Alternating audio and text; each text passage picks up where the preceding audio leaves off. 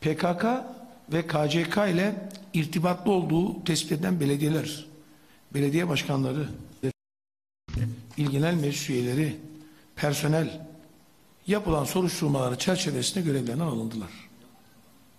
Keza FETÖ terör örgütünden de devlete sızmış irtibatları ve iltisakları olan kamudan çıkarıldı. Ve yine bizim bakanlığımızdan 50 bini aşkın kişi çıkarıldı. Yani devlet PKK ile mücadele ediyor. KCK ile mücadele ediyor. FETÖ ile mücadele ediyor. DAEŞ ile mücadele ediyor. MLKP ile mücadele ediyor. DHKPC ile mücadele ediyor. TKPM ile mücadele ediyor. Ve bugün öyle yazılmış diye eleştirilen diğer terör örgütleriyle mücadele ediyor. Hepsiyle mücadele ediyor. Hem sahada mücadele ediyor, hem kamuyu etkilemelerinin ve kamuya girmelerinin önüne yönelik kesmeyle mücadele ediyor. Ve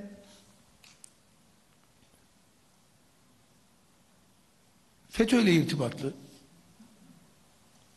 belediyeler oldu.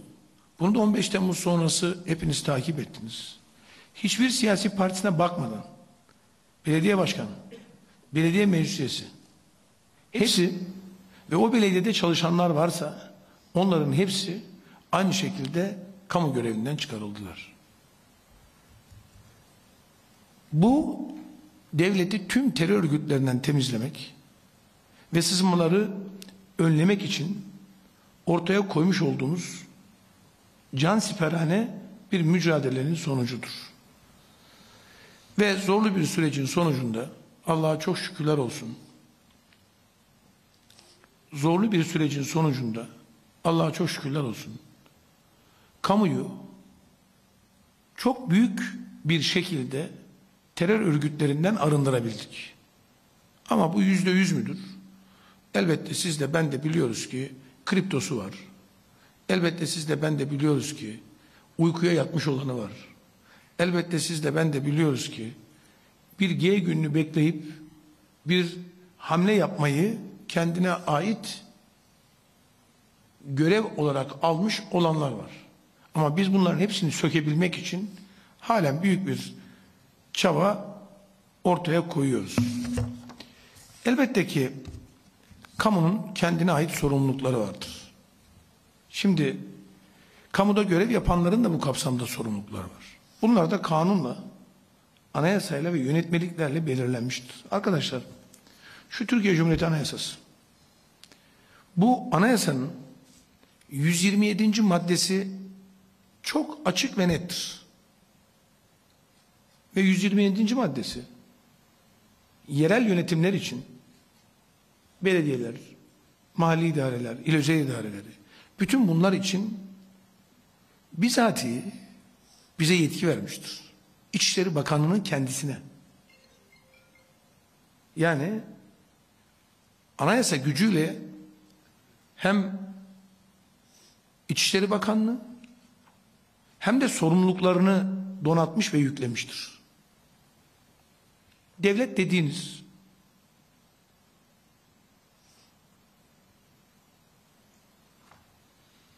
bir çadır yönetimi değildir. Kimse kusura bakmasın. Devlet bir çadır yönetimi değildir. Kuralları var, ilkeleri var, anayasası var ve yasası var. Anayasanın 127. maddesi hem bir sorumlulukla hem de bir görevle sadece bizi değil, bizden önceki bakanları da donatmıştır. Bizden sonrakileri de donatacak. Bunu görevini yaparsan yaparsın. Yapmazsan gereğini yerine getirirler. İki, yine bunun yanı sıra özellikle en önemli kanunlardan birisi de 53-93'tür. Yani burada da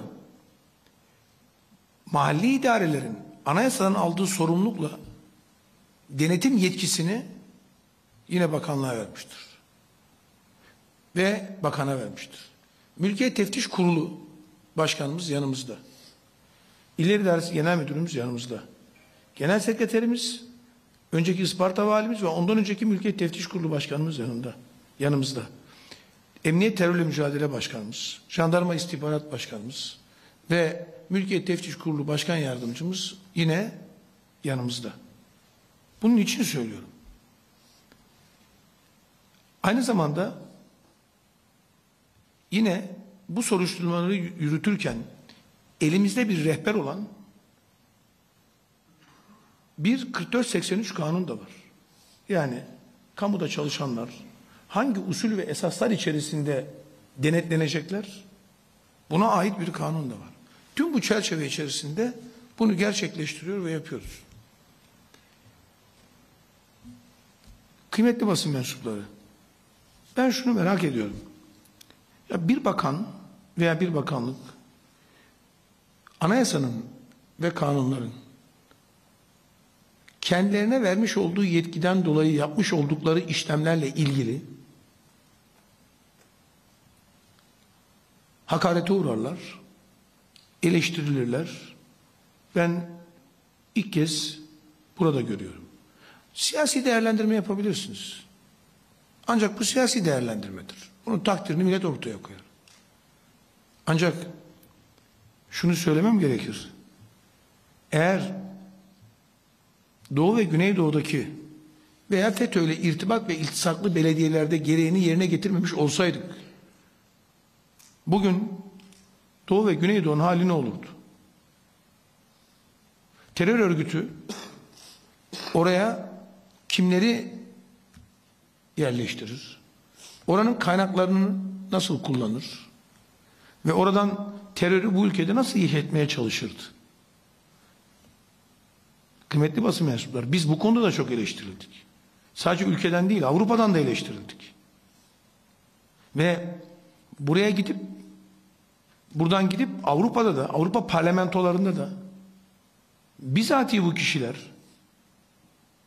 yani bugün basın toplantısı yapan kişi dahil olmak üzere onun genel başkanı dahil olmak üzere kayyum atadığımız için bir belediyenin terörle irtibatını ve iltisakını tespit ettiğimiz için bu anayasanın bize vermiş olduğu aynı zamanda kanunların bize vermiş olduğu yetkiyi kullandığımız için eleştirildik.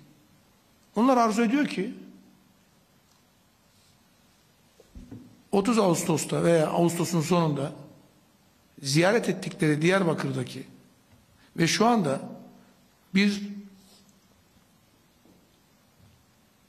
terör örgütü üyesi olduğu için PKK'nın üyesi olduğu için hapiste yatan Diyarbakır eski belediye başkanı Selçuk Mızraklı'nın yani terör örgütüyle bağı olduğu için ve üyesi olduğu için şu anda hapiste yatan Selçuk Mızraklı'ya ve onun gibilere dokunulmasın. İstediklerini yapsınlar. PKK'ya, KCK'ya hepsine istedikleri şekilde hizmet edebilsinler. Kıymetli arkadaşlar, eğer bugün ülkemizde PKK, KCK terör örgütü hareket etme kabiliyeti bulamıyorsa, Türkiye Cumhuriyeti Devleti'nin ortaya koyduğu bu iradeden, anayasanın ve kanunların kendisine vermiş olduğu yetkiyi tam anlamıyla kullandığı için bunu sağlıyor. Bu kadar açık ve net. Bir takım siyasal sahipler ve siyasal baskılarla Avrupa'dan, Türkiye'den bunu geri adım attırmaya çalışanlar elbette ki başarılı olamazlar. Biz hiç iki yüzlü olmadık. Ülkemize karşı ve milletimize karşı. Bundan bugün Cumhuriyet Halk Partisi'nde kaybettiği itibarı bizlere saldırarak meseleleri demagoji yöntemiyle anlatmaya çalışarak bulmaya çalışanlar bu itibarlarını tekrar kazanmaya çalışanlar boşuna çırpınış içerisindeydiler. Biz samimi insanı yüzünden anlarız.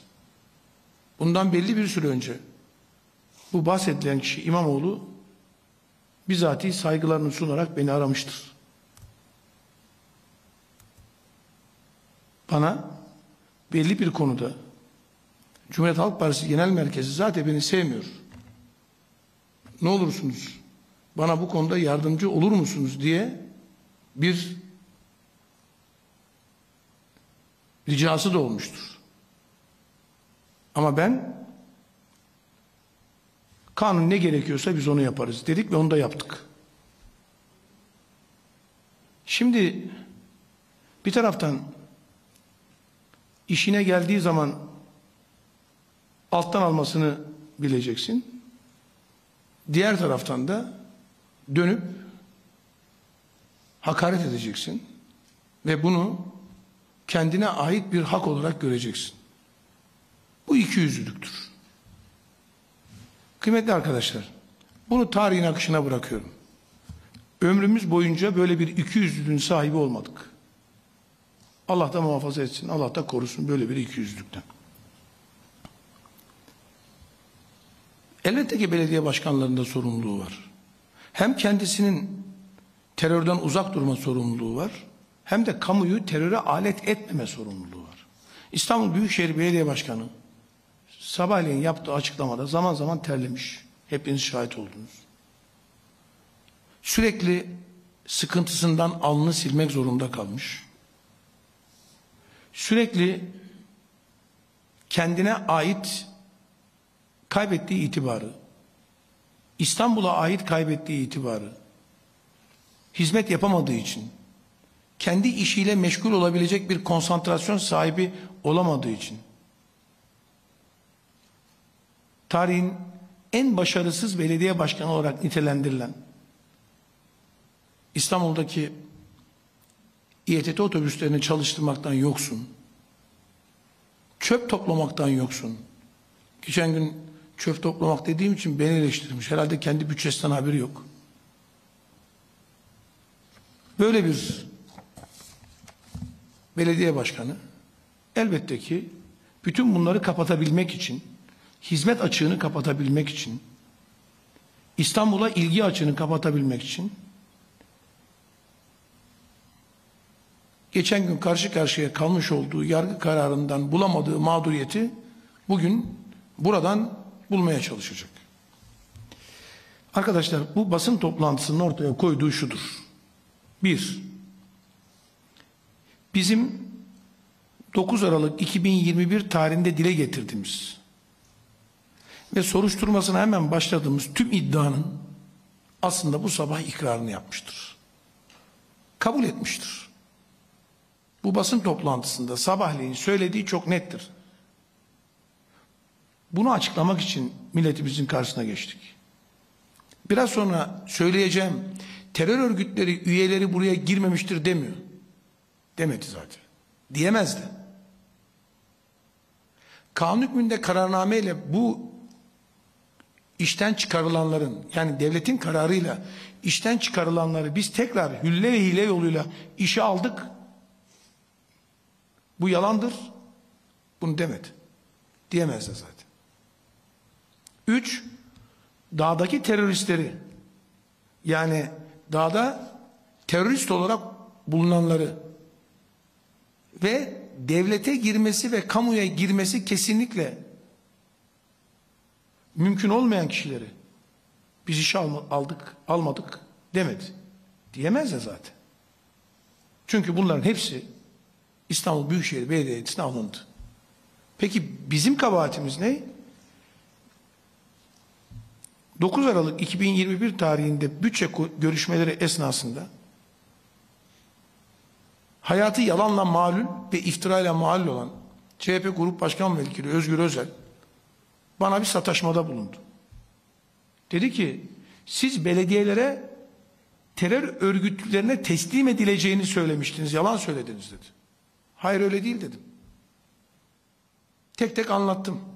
Anlatırken de siz İstanbul Büyükşehir Belediyesi'ne dahi bizim istihbarat kayıtlarımıza göre 557 işte sayısı neyse terörle irtibatlı ve iltisaklı insan aldınız dedim. Ortalık birden sustu.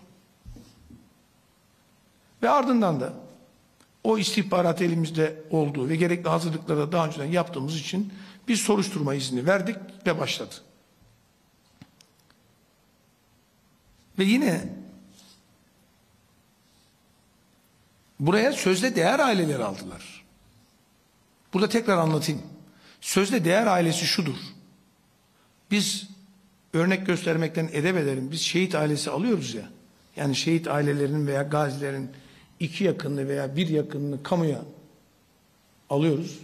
Terör örgütü PKK da yıllardan beri elinde bulundurduğu belediyeler vasıtasıyla ya dağda eleman olup ya dağda etkisiz hale getirenlerin akrabalarını birinci derecede akrabalarını, kardeşini, abisini gibi yakınlarını belediyelere alıyor. Şimdi biz bunları bilir miyiz? Biz bunları biliriz. Nereden biliriz? Biz bunları HDP'yi ve PKK'yı iyi takip ettiğimiz için biliriz. Biz bunları kayyum belediyelerinde operasyon yaptığımız için biliriz. Şimdi biz bunları almadık diyebilirler mi? İlişkiyi kimle kurdunuz? Ve bu sözde değer ailelerinde alınanları sabahleyin ben almadım dememiştir. Tam tersi. Dönüp işte benim bulunduğum dönem içerisinde Anayasa Mahkemesi şunu iptal etti. Kanunlar şöyle geldi. Kanunlar böyle oldu. Onun için ben buradaki araştırmaları yapma görevi bana ait değil. Şunun bilinmesi lazım. Biz bu soruşturmayı sadece İstanbul Büyükşehir Belediyesi'ne yapmadık. Tüm belediyelerde bu konunun üzerine gittik. Gitmeye de devam ediyoruz. Bizim iddiamız ve bulgularımız şu. Toplam soruşturulan dönem içerisinde 25.361 kişi alındı. İşe. Ve 1668 kişi bunların içerisinden araştırılıp soruşturuldu.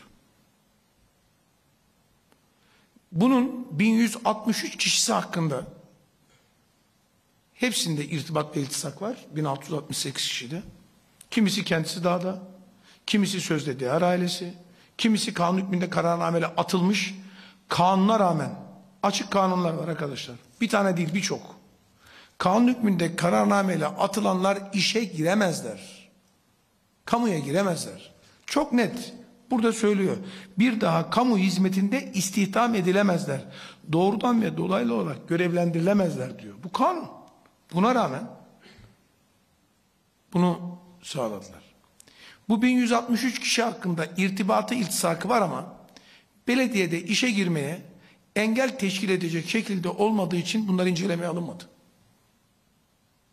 Bunların içerisinde basın toplantısında bahsettiği kendisinden önceki dönemde alınan kişiler de var. Ancak geri kalan 505 kişinin tamamı kendi döneminde alınmış ve bunların kayıtları kamu görevi yapmasına engel olacak nitelikte kişilerdir. Bir daha altını çiziyorum. Bu 505 kişinin tamamı terörle irtibat ve iltisakları oldukları için bizatihi kendilerinin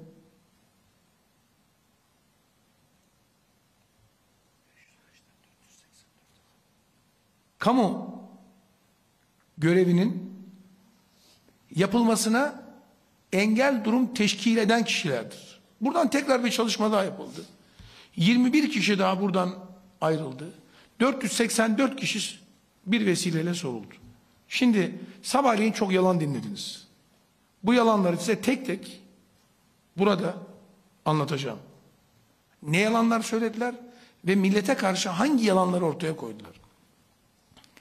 Sabahki toplantısının hiçbir yerinde biz böyle insanlara işe aldık diye bir cümle kurmadı. Almadık diye bir cümle kurmadı. Sözde değer ailelerinden alındı mı alındı.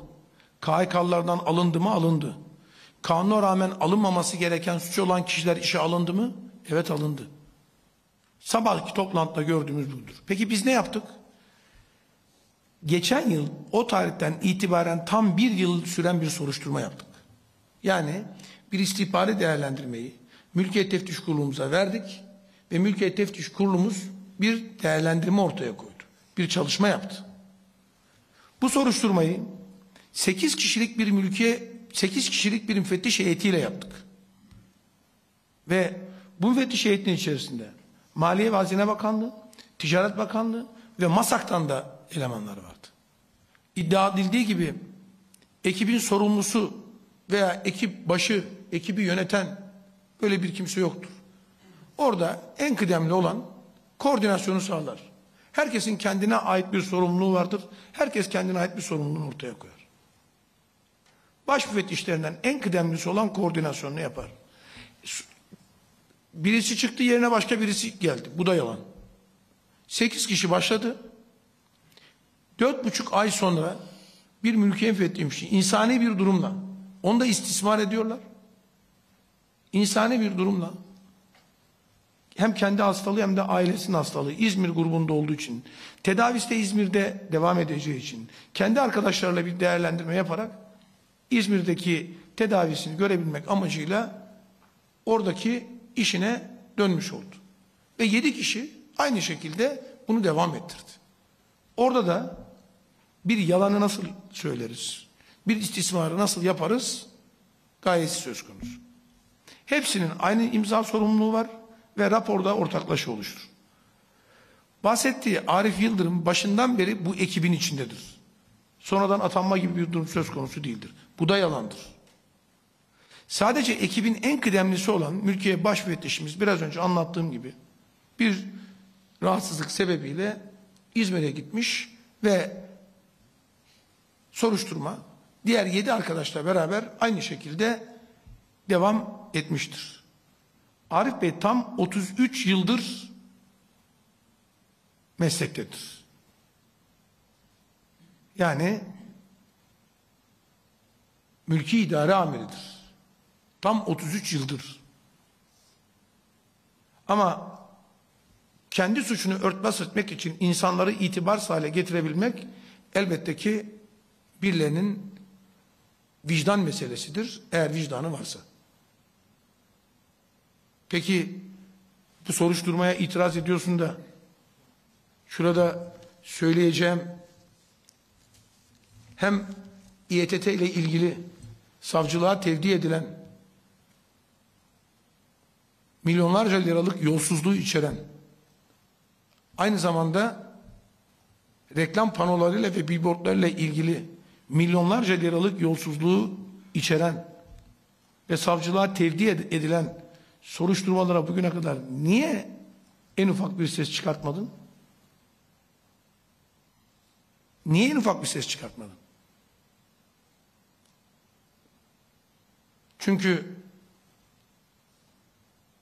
neler yaptığınızı en iyi siz biliyorsunuz. Bizim görevimiz bu soruşturmaları yapmak ve yargıya havale etmektir. Yine bütün bunun yanı sıra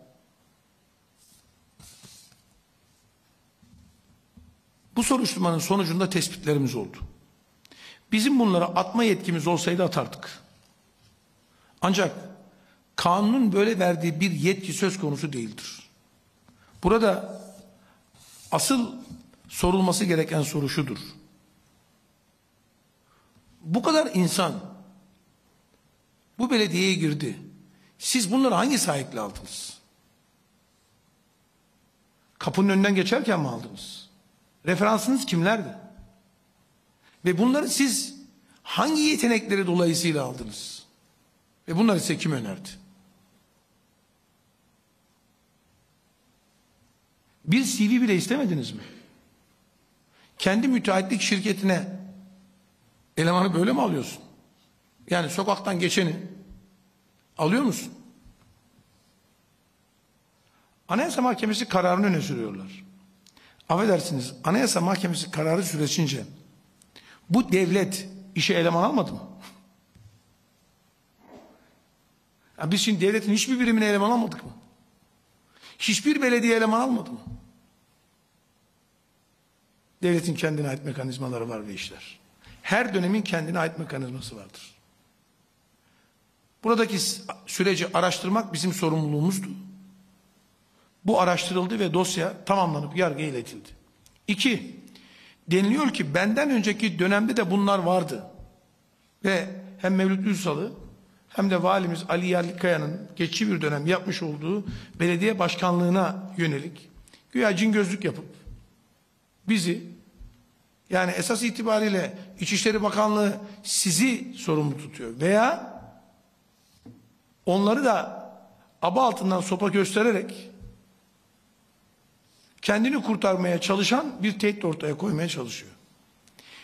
Bu soruşturma 1-1-2019'dan itibaren 31-12-2021'e kadar 3 yıl yapıldı. 3 yıl incelendi. 1668 kişinin 1427 kişisi İmamoğlu döneminde. 191'i Mevlüt Uysal. 50 kişinin o geçici İstanbul valisinin vekalet ettiği dönemde alınmış.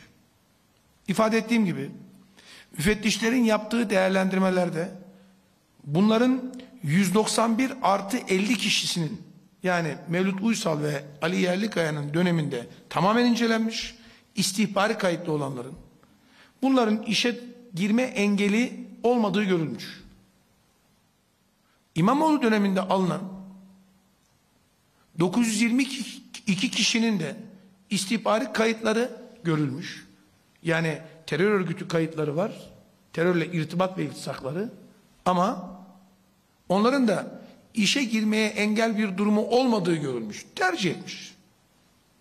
Şimdi meseleyi kendini kurtarabilmek için İstanbul Büyükşehir Belediyesi'ne yasladığı 505 teröristi ve terörle iltisak ve irtibatları almayı örtbas edebilmek için güya yanındaki 3-5 aklı evvelin söylediği sözlere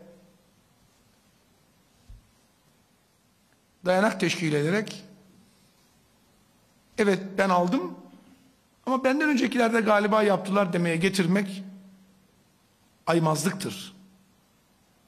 Bundan bir yıl önce açıkladığınız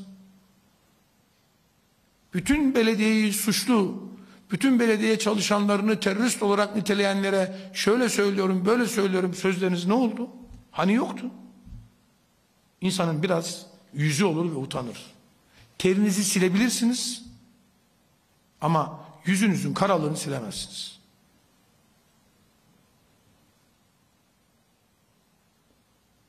Devam ediyorum. Bu 505 kişi İmamoğlu döneminde alınmış ve bunların bizatihi işe girmelerinde engel durum söz konusudur. Bu kadar açık ve net. 21 kişiyi daha sonra bizim arkadaşlarımız ayırmışlar. Ve kendi suçunu örtbas etmek için masum insanları, belediyede çalışanları kalkan yapmak da ayıp bir şeydir. Bir iddia da şu. Madem öyle siz bunları atsaydınız diyor. Kıymetli basın mensupları. Siz de bilirsiniz biraz önce söyledim 165 bin KHK'lı ihraç edildi.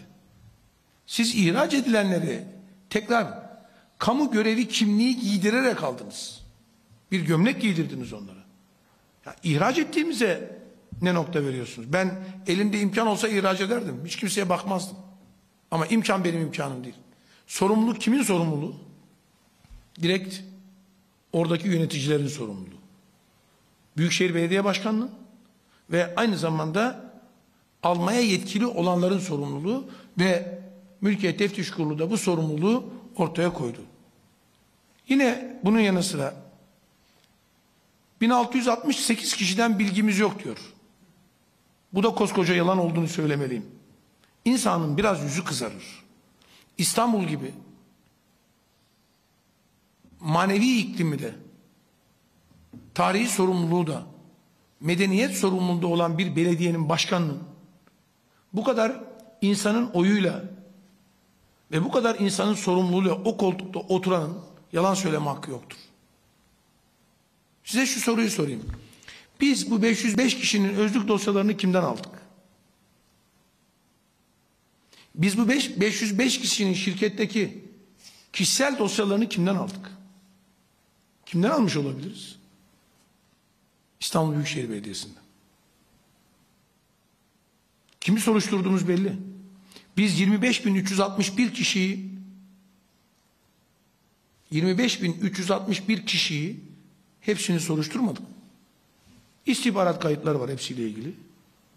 Bir tarafa bırakıldı ama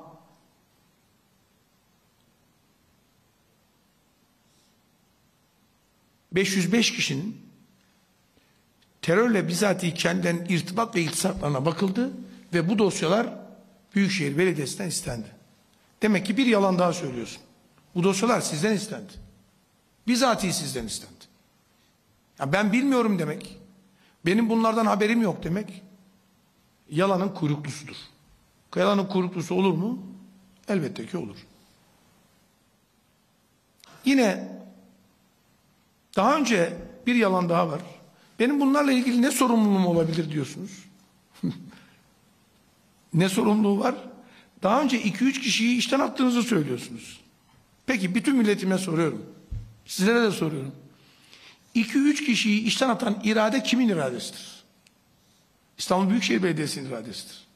Peki 2-3 kişiyi işten atan irade, aynı iradeyi diğer terör örgütü mensupları için, alınanlar için, iltisak irtibatlar için, dağda olanlar için niçin gerçekleştirmemiştir? Sorunu İçişleri Bakanı'na atmak kolay olduğu için. Ve yine bütün hepsini tespit edebilirdin. Kendi ağzınla söylüyorsun. Sabahleyin belge veriyorsun. Diyorsun ki 2018'de 2017'de işe alınan bunları ben attım diyorsun. Tamam. 2-3 kişi. Diyelim ki bu kadar kişi arasında senin de 2-3 kişin olsa bu da tolere edilebilir. Dersin ki attım, işlem yaptım, yapıyorum. Şunu ediyorum, bunu ediyorum. Peki sen 2-3 kişiyi bir vesileyle attın. Aynı usulle diğerlerini de atsaydın. Demek ki atabilme yetkin var. 3-5 tane kendisini paraya teslim etmiş. Senin gönderdiğin promosyonlarla hayatını devam ettiren gazetecilere yazdırdığın yazılarla gerçekler örtülemez. Sorumluluğunu örtbas edemezsin. Demek ki sorumluluk sana ait. Hukuken de oraya ait. Kanunen de oraya ait. Ve biz bugün de güvenlik ve güvenlik soruşturması ve arşiv araştırması bizden istendiği zaman veririz. Alıp almama kanaati bize ait değildir. Bu kararı biz vermeyiz. Bu kararı devlette de biz vermeyiz. Bizden istenir biz göndeririz. Oraya okur. Alırsa alır almazsa almaz. Alırsa almaması gerekirken alırsa sorumluluğu da kendisi alır. Bu kadar net. E sen o sorumluluğu birlikte almışsın. Arkadaşlar bir soruşturma yok. Üç soruşturma var. Peki Diyader soruşturması şu anda İstanbul Başsavcılığında yargıda yürüyor. Onunla ilgili niye konuşmuyorsun? Oradan bal gibi beş kişiyi almışsın belediyeye koymuşsun. Onlar hem belediyeden aldığı maaşları aynen diğer PKK ve KCK'da olduğu gibi getirmişler derneğe bir kısmını vermişler. Onların ortaya koymuş olduğu bütün talimatları yerine getirmişler. Ve bunlar bir kısmı içeride, bir kısmı ev hapsinde, bir kısmı adli kontrolle serbest. Bunlarla ilgili de soruşturma var. Sadece o değil, bir de esas itibariyle belediyenin içerisinde yakalanan Şafak'la ilgili soruşturma var. Üç tane soruşturma var. Üç de bunların terörle ilgili soruşturmalar. Ve belediyeye gassal olarak girmiş çıkmış. Hakkında işlem yapılınca işten çıkarmışsın. Ve yine Şafak Duran'la ilgili soruşturma. Yine bir ikrarı değerlendirme komisyonu. Onu da söylemek istiyorum. Biz 9 Aralık'ta bu olayı izah ettikten sonra daha önce kurulması gereken değerlendirme komisyonu kuruldu. Yani 9 Aralık'ta söyledikten sonra baktı ki mesele farklı bir noktaya gidecek. Kurmadıkları değerlendirme komisyonunu kurduğunu bu sabah açıkladı. Demek ki biz bir şey biliyoruz ve söylüyoruz. Fakat orada da eksiklik ve problem var. O kurduğu değerlendirme komisyonunun almaması gerektiğini söylediği kişileri de almışlar. Güvenlik ve araştırma tahkikatlarında yine alınmaması gereken kişileri aldıklarını da söylemişler. Bunların hepsi o raporda var. Yani savcılığa tevdi edilen raporda var. Yine değerlendirme komisyonunun kurulması altını çizerek söylüyorum. Müfettiş incelemesine başladıktan sonradır. Bunu da kendisi sabahleyin bizatihi söyledi. İSKİ de vardı diğerlerinde yoktu. Diğerlerinde de kurduk dedi. Şunu söylemem lazım. Peki burada bütün bunları ifade ettikten sonra bütün bunları ortaya koyduktan sonra bu yalanlarını sabahtan itibaren söylediklerini ortaya koyduktan sonra esas itibariyle arkadaşlar İmamoğlu ne yapmak istedi? Bir önceki mahkemede olduğu gibi alenen yargıyı tehdit etti.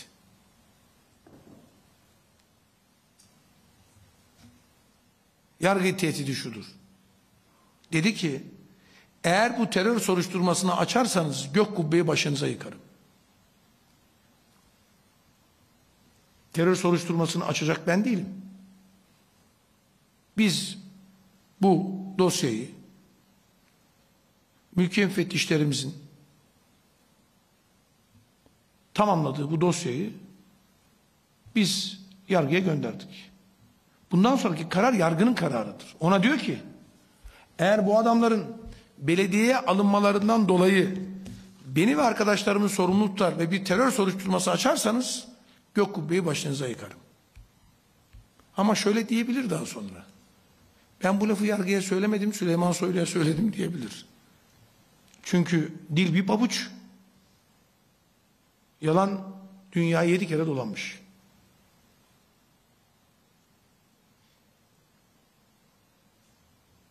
Bunu çok rahat bir şekilde yüzü kızarmadan söylüyor. Nasıl olsa bir mendil var. Mendille suratını silebiliyor. Şimdi arkadaşlar burada bizim terörle mücadelemiz hoşuna gitmiyor. Bizim ortaya koyduğumuz mücadele hoşuna gitmiyor, bizi beğenmiyor. Bu olabilir. Ama bütün bunlarla ilgili bizi Cumhurbaşkanımıza şikayet ediyor. Bizi partimize şikayet ediyor. Kendi üzerine vazife olmayan ne kadar iş varsa bütün bunları yapıyor ama bir tek şey yapmıyor. Kendi işini yapmıyor. Ve bana milli güvenlik sorunu diyor. Doğru. Ben bir güvenlik sorunuyum ama PKK için bir güvenlik sorunuyum. Bu doğru. Görevim o çünkü hükümetimizle beraber, Sayın Cumhurbaşkanımızla beraber görevimiz bu bizim. Terör örgütlerini tasfiye etmek. Onların güvenlik sorunu olabilmek. Ve burada özellikle şunu söylemem gerekir. Sabahtan itibaren bu konuda birçok değerlendirmeler yapıldı. Ve maalesef gerek Mersin, gerek Adana Seyhan, gerek Ataşehir, gerek İzmir. Yani İzmir'de yakalanan terör örgütü üyesi içeride. Şimdi ben size şunları da söyleyeyim, sözlerimi tamamlayayım. Kimler bunlar?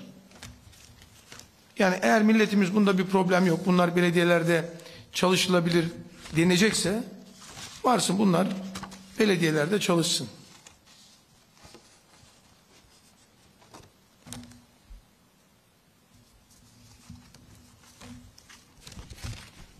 Şimdi demiş ki Bakan Soylu saygılarımla diyerek kendisine aradığımı ve yardım istediğimi söylemiş. Evet istedim. Ufak bir namusun varsa, ufak bir şerefin ve haysiyetin varsa yalan söylemezsin. İstanbul'da yardım toplarken yardımla ilgili bu yardımın kanunlara uygun olmadığını tespit ettikten sonra yani böyle bir yardım toplanamayacağını tespit ettikten sonra çok doğal olarak o yardım toplanan paralara el konuldu. İstanbul Büyükşehir Belediye Başkanı beni aradı. Ve dedi ki Cumhuriyet Halk Partisi Genel Merkez zaten bana karşı biz hemşeriyiz. Ne olursun beni onlara ezdirme. Ama hayatı iki yüzlülük olduğu için ve yalan olduğu için bunu elbette söyleyemez. Aramızda sonra bir telefon görüşmesi daha geçti. Onda gidip Cumhuriyet Halk Partisi Genel Merkezi'ne beni şikayet etti. Bana İçişleri Bakanı böyle böyle söyledi diye.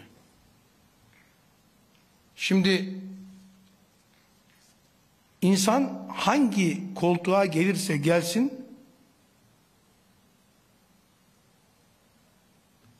o koltuk onu taşımayacak. O o koltuğu taşıyacak ve yalan söylemeyecek. Şimdi bunları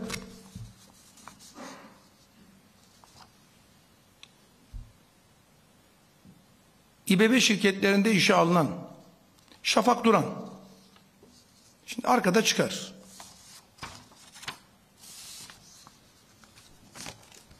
Arkadaşlar veriyor musunuz?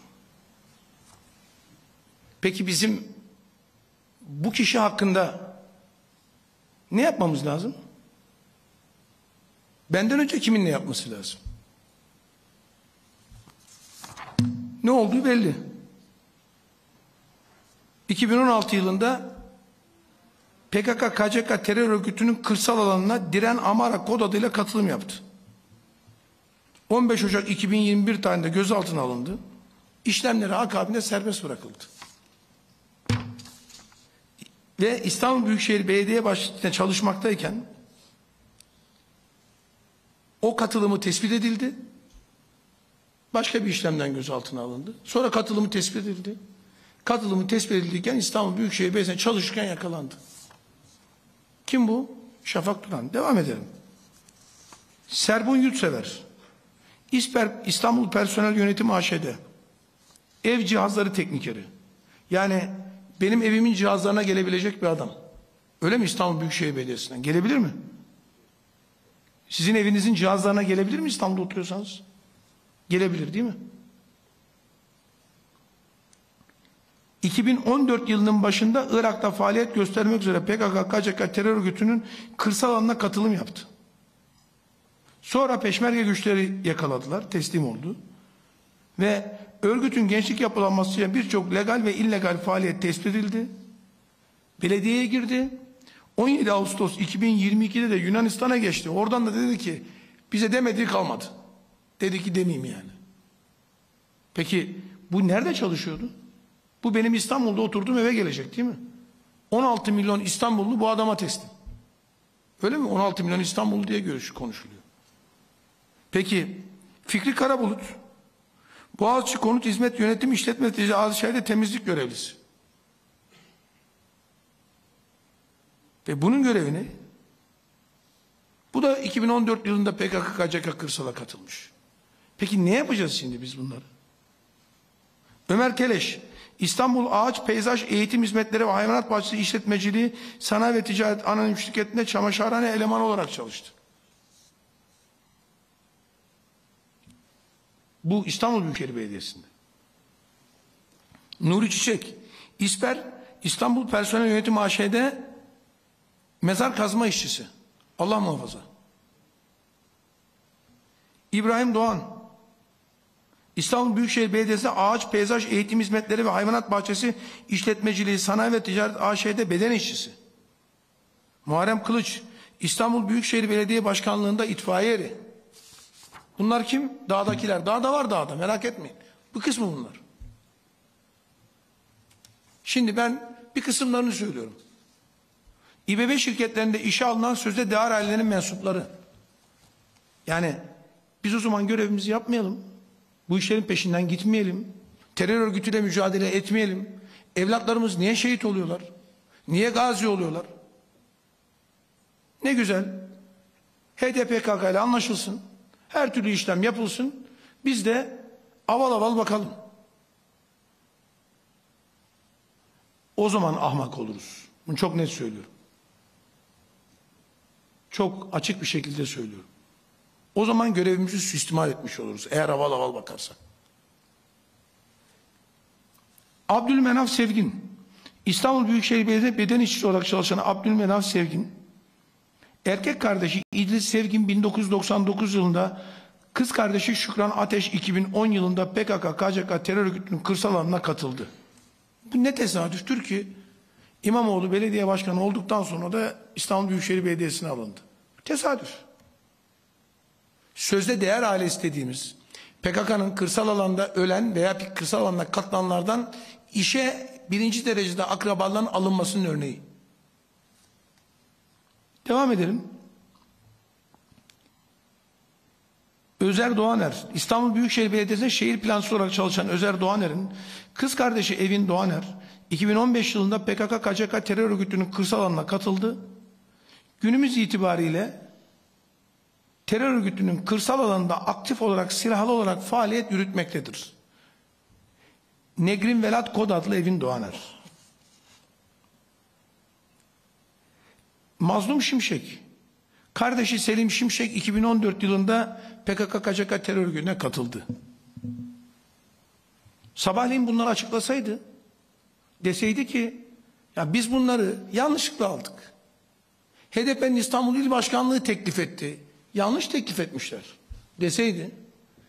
Veya HDP PKK'nın üst düzey yöneticisi teklif etti. Deseydi. Sadece alnını sıkıştığı için selpak mendiliyle silmeseydi. İnsanlara iftira atmak kolay bir iştir. Ama gerçekleri konuşmak zor bir iştir. Bu ülke terörle mücadele ediyor. Biz bu ülkenin terörle mücadelesini yapanlara borcumuzu şehitlerimize, gazilerimize borcumuzu ödeyemeyiz. Ama onlar öderler. Nasıl olsa büyük elçiliklerle, büyük elçilerle balık yiyerek öderler. Onlarla kirli hesaplar yaparak ödeyebilirler. Ödeyebilirler. Ama bu memleket bedava bir memleket değildir.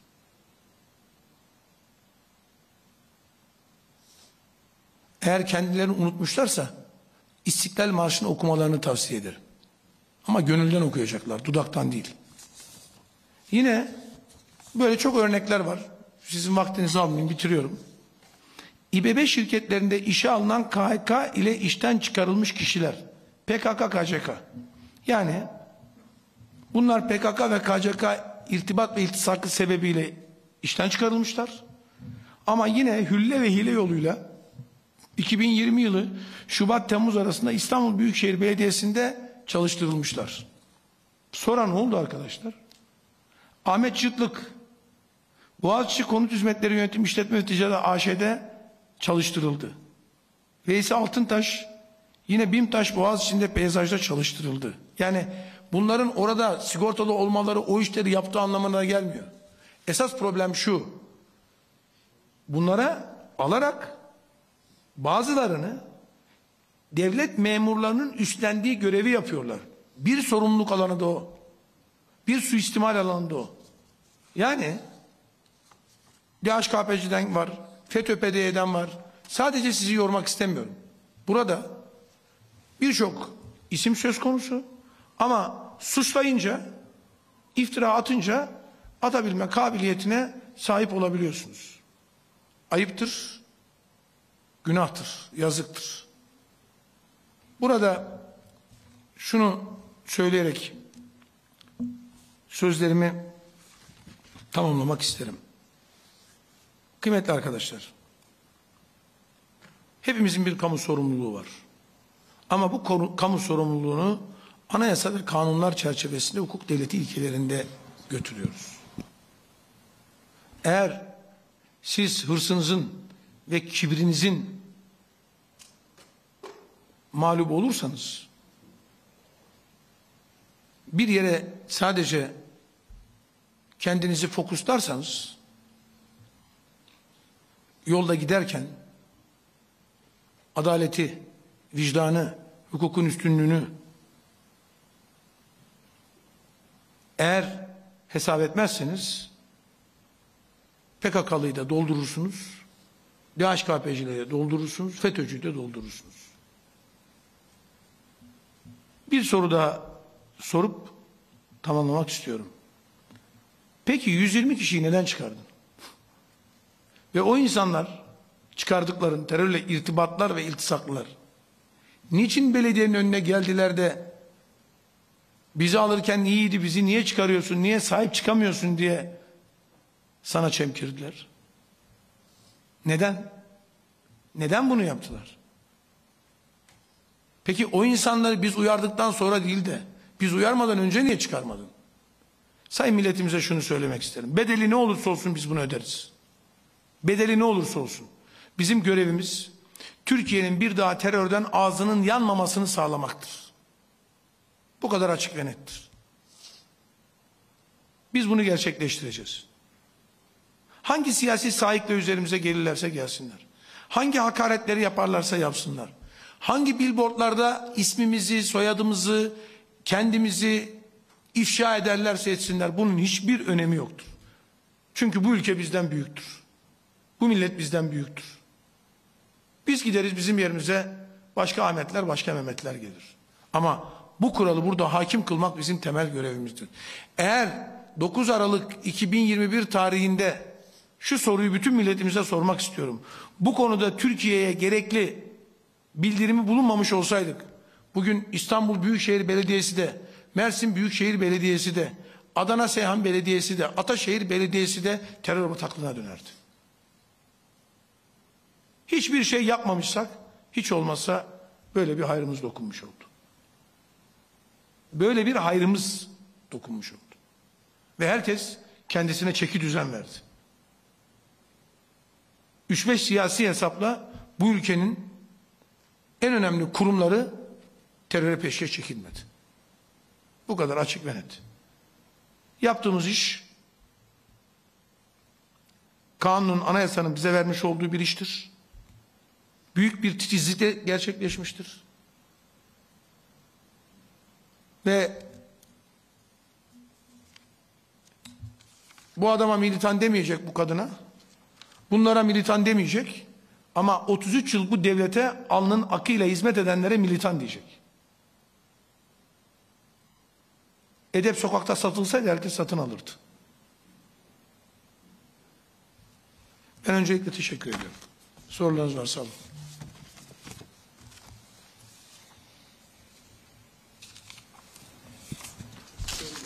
Buyurun. Fehmi Çağlı. Değerli Bakanım, konuşmanızın bir yerinde Fehmi Çalmuk, Sayın Bakanım sizi dikkatlice dinledik. Konuşmanızın bir yerinde İstanbul Büyükşehir Belediye Başkanı'nın e, bu terörle ilgili, KHK ile ilgili kişileri işe aldığına ilişkin dediniz ki bunları kim dedi de işe aldığını. Şimdi sizin tespitlerinize göre İstanbul Büyükşehir Belediye Başkanlığı geçen seçimlerde bir ittifakla iş başına geldiğine göre Sayın İmamoğlu bunu hangi referanslarla almıştır? Kimlerin referansı? Bununla ilgili bir tespitiniz var mı? Sorumun birinci şıkkı bu. İkinci şıkkı da şu. Şimdi Sayın İmamoğlu daha önce yargının verdiği kararla yani Türk siyasetine ahmak davası olarak geçen bir kararla ilgili bir yorum yaptı ve kendisinin neredeyse bir cumhurbaşkanı adayı olacağını ve bunun engellemeye çalıştığını düşündü. Bu soruşturmaların, bu kararların zamanlaması konusunda zateniz başta olmak üzere getirilen eleştirilere ne dersiniz efendim? Sağ olun. Birinci soru tabi bundan sonra bizim şimdi bizim kanunun bizi talat ettiği ayırdığı bir yer var.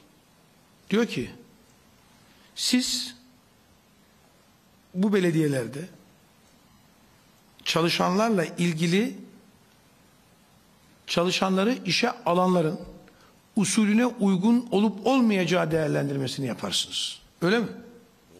Biz şimdi o değerlendirmeyi yaptık. Bunlar usulüne uygun işe alınmış insanlar değil. Yani bunların terör örgütü e, irtibatı ve iltisakı olduğu için kamu görevine giremezler. Biz bu tespiti yaptık. Ve bunları alırken kimlerin sorumlu olduğunu tespitinde yaptık. Ve bunların tamamını yargıya verdik. Şimdi soruşturma bundan sonraki evresinde şunu sağlayabilir. Peki bunları buraya kim refer etti?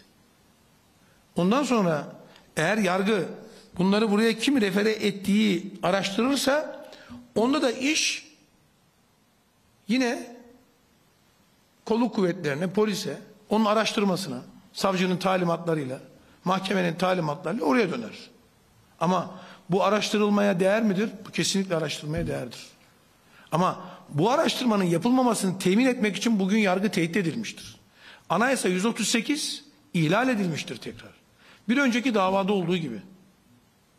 Yani bunun tam anlamıyla gerçekleştirilmemesi için bunun sadece bir vakaya adiye olarak bırakılmasını temin edebilmek için bugün yargı tehdit edilmiştir. Bu benim gördüğüm o. Ben onu görüyorum. Çünkü diyor ki gök kubbeyi başınıza yıkarım terör soruşturması açarsanız. Peki bu adamlar atlı karıncada mı çalışıyorlar? Nedir bu adamların vasfı? Bu dağdan gelen adamları hangi vasfıyla sen buraya almışsın? Neyle almışsın siz buraya? Bunu bir açıkla. Ya bu terör, terörü şeyi söylemiyorum. Verilen ihaleleri HDPKK'ya sağlanan imtiyazları bunları söylüyor değilim. Bunları ben söylemedim zaten. Kendi işlerindeki para kavgasıyla beraber ortaya saçıldılar, döküldüler. Biz onları da soruşturuyoruz. Soruşturmak zorundayız. Bizim görevimiz bu. Anayasa 127 53 93 ve 44 83 bize bu yetkiyi vermiş. Bizden öncekilere de vermiş, bizden sonrakilere de verecek. İkinci soru.